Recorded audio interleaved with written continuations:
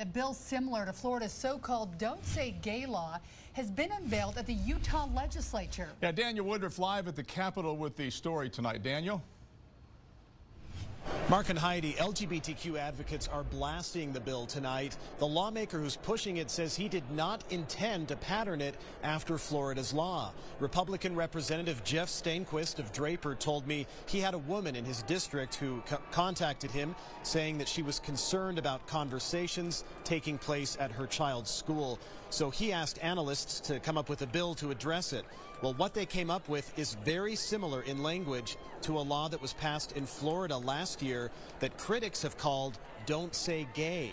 That law prompted sharp criticism from celebrities, Disney, and the White House. I asked Stenquist today if he worried that Utah would be opened up to that backlash if his bill moved forward.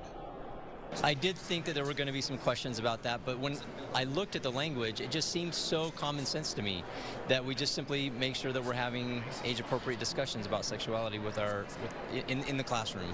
That to me seems just uh, really straightforward. But LGBTQ rights group Equality Utah is criticizing the bill, telling me, quote, Equality Utah is very dismayed to see a Don't Say Gay bill introduced in Utah, especially when the Utah legislature enacted legislation repealing similar language from Utah Code in 2017.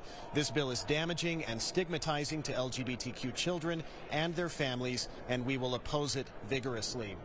Now, I should note we have just over a week left in the legislative session, so at this point, it's not even clear that this bill will get a hearing. But Stenquist told me he believes this is an important discussion to have, and if it doesn't go through this year, he intends to work on it over the summer and maybe bring it back next session. Live at the Capitol, Daniel Woodruff, KUTV 2 News.